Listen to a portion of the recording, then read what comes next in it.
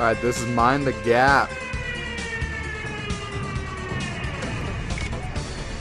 Check this one out real quick. Uh, a little more intricate than some of the early levels.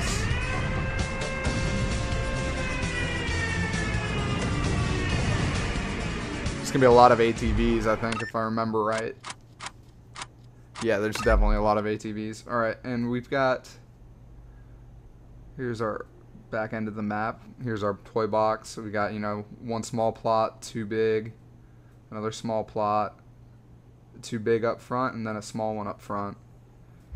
And uh, like I said, I know for a fact there's a lot of ATVs because one of the decorations is ATVs. So we're going to have to be careful of that. Uh, let's see if I can get a better view here for us. Oh, sweet.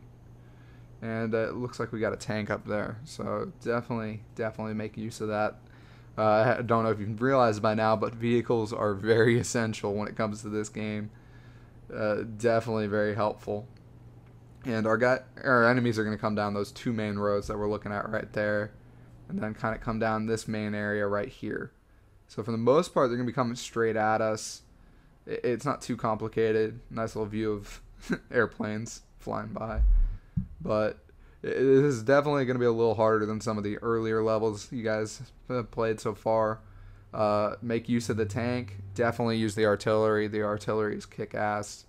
Uh, especially because now you can rotate the turrets. I mean, if that was in the first one, I never figured out how, which is pretty sad, but hey.